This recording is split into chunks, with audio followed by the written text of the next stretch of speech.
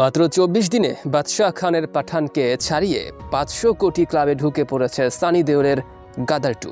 বহু বছর পরে বলিউডে ফিরে এমনই এক জাদু দেখিয়েছে ধর্মেন্দ্র পুত্রের নতুন সিনেমা। বলা হচ্ছে এই মুভির মাধ্যমে হিন্দি সিনেমা নতুন করে সানি দেওলকে ফিরে পেয়েছে। একের পর এক ব্যর্থতার পর অভিনয় থেকে মুখ ফিরিয়ে নিয়েছিলেন বলিউড তারকা সানি দেওল। এমনকি তাকে শুনতে হয়েছিল বলিউডে তার ক্যারিয়ার শেষ। কোনো বড় প্রজেক্টে আর তাকে ডাকা হতো না, এমনকি বড় বড় বলিউডের পার্টিতেও সবার থেকে আড়ালে থাকতেন।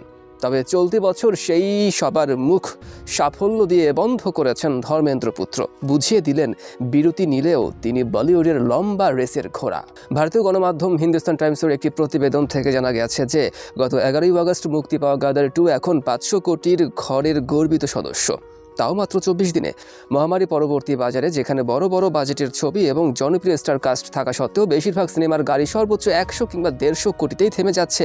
সেখানে সানির ছবি যেন দেখিয়ে দিল। গল্প ভালো হলে আর ছবিতে ভালো অভিনয় থাকলে সিনেমা হলে দর্শক আসবেই। প্রতিবেদন অনুযায়ী বক্স অফিসের প্রাথমিক রিপোর্ট অনুসারে চতুর্থ রবিবারে গাদার টু ভারতের বাজারে আট কোটি পঞ্চাশ লক্ষ টাকার ব্যবসা করতে সক্ষম হয়েছে আর সেই অঙ্কে ভর করে নতুন ছবির আয় এখন পাঁচশো এক কোটি সাতাশি লক্ষে গিয়ে দাঁড়িয়েছে। জানা গেছে, গদর টুই হলো প্রথম হিন্দি সিনেমা যা মাত্র চব্বিশ দিনে পাঁচশো কোটির ঘরে ঢুকেছে। শাহরুখ খানের পাঠানের এই কাজ করতে সময় লেগেছিল আঠাশ দিন। আর বাহুবলী দুইয়ের হিন্দি ভার্সনের সময় লেগেছিল ত্রিশ দিনেরও বেশি। বর্তমানে সানি দেওলের ছবি ভারতের সর্বোচ্চ উপার্জনকারী হিন্দি ছবির তালিকায় রয়েছে তিন নম্বরে। তালিকায় এখনও শীর্ষে রয়েছে চলতি বছরের শুরুতে মুক্তি পাওয়া পাঠান, যার দেশীয় বাজারে আয় ছিল পাঁচশো চল্লিশ কোটি, আর তারপর আছে বাহুবলী দুই, যার হিন্দি ভার্সন ভারতে আয় করেছিল পাঁচশো এগারো কোটি, আর গাদার টু আছে এখন পাঁচশো এক কোটিতে। এমন আকস্মিকভাবে প্রাপ্ত ছবির সাফল্যে রীতিমতো আনন্দে ভাসছেন সংশ্লিষ্ট অভিনেতা এবং অভিনেত্রীরা। তবে সব থেকে বেশি যার জয় জয়কার তিনি তারা সিংহ ওরফে সানি দেওলের। তার প্রত্যাবর্তন ইতিহাস গড়েছে, এমনই মন্তব্য সিনেমা প্রেমীদের মুখে মুখে।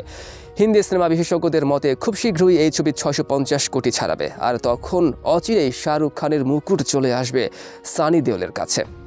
এদিকে সাতই সেপ্টেম্বর হলে আসছে কিং খানের দুই হাজার তেইশ সালের দ্বিতীয় সিনেমা জওয়ান, যার টিকিটের প্রি বুকিং শুরু হয়ে গিয়েছে পয়লা সেপ্টেম্বর থেকেই। ইতিমধ্যেই চার লাখ টিকিট অ্যাডভান্সড বিক্রি হয়ে গিয়েছে।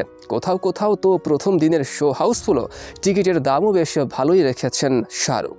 জানা গেছে সর্বনিম্ন দুইশো রুপির কমে শহরাঞ্চলে জওয়ানের টিকিট নেই বললেই চলে, যার কারণে ধারণা করা হচ্ছে একবার জওয়ান এসে গেলে সানি দেওলের গাদারের জন্য হল পাওয়া বেশ কষ্টকর হতে পারে। তাই খুব সম্ভবত সর্বোচ্চ উপার্জনকারী হিন্দি ছবির তালিকায় নাম্বার ওয়ান হিসেবে আসার স্বপ্ন অধরাই রয়ে যাবে গাদার প্রেমীদের। বরং সংশ্লিষ্টদের মতে এখন শাহরুখ খানের পাঠানের রেকর্ড ভেঙে দেবে শাহরুখ খানেরই জওয়ান।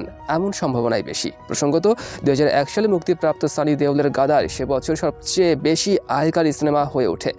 বলিউডের সবচেয়ে বেশি আয় করা সিনেমার তালিকায়ও রয়েছে এটি। ভারত পাকিস্তানের সংঘর্ষ এবং পরবর্তীতে নিজের স্ত্রীকে পাকিস্তান থেকে ফিরিয়ে আনতে তারা সিংয়ের লড়াই নিয়েই সিনেমার মূল গল্প। তারা সিংয়ের চরিত্রে অভিনয় করেছেন সানি দেওল এবং সখিনা চরিত্রে অভিনয় করেছেন অমিশা প্যাটেল। গাদার টুই ওই একই চরিত্রে অভিনয় করেছেন দুজনে।